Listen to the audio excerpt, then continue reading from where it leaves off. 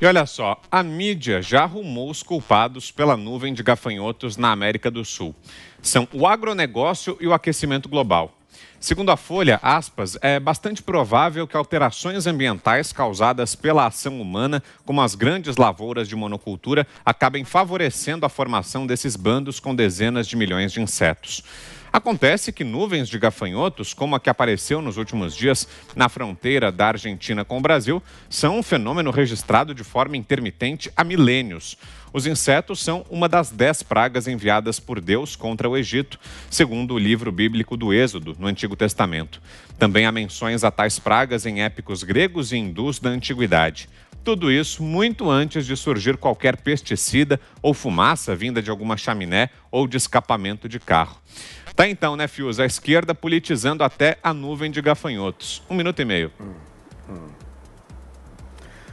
É, não dá nem para chamar de esquerda isso, né, Vitor? Isso é o catastrofista, isso é Cassandra, né? Isso, assim, eles não podem ver uma, uma calamidade é, é, enunciada que eles ficam excitadíssimos, né?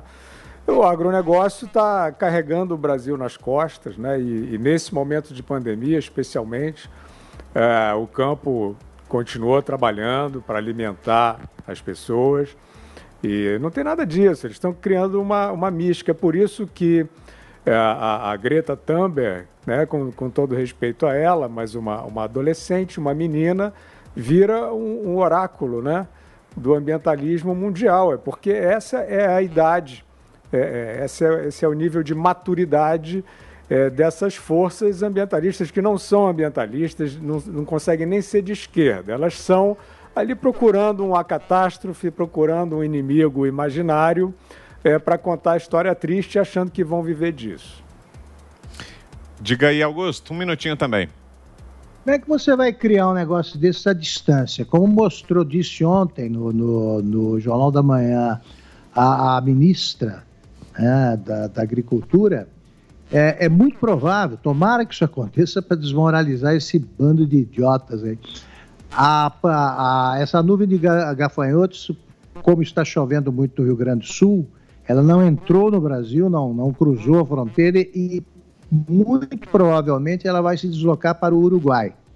Então, como é que é? O agronegócio brasileiro provoca problemas lá, à distância, eles são imbecis, né? Eles daqui a pouco vão atribuir ao governo atual e ao agronegócio até a peste negra, né? até a gripe espanhola que aconteceu em 1918 e 19. É isso aí.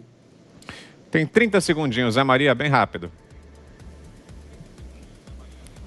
É, isso aí é sazonal, é quebra do equilíbrio. Os gafanhotos, quando ainda pequenos, eles, eles podem ser predados por sapos, predadores naturais, e de tempos em tempos vem. Não tem nada disso. Pelo contrário, a acusação de sempre é que o agronegócio usa muito veneno e que mataria insetos. Né?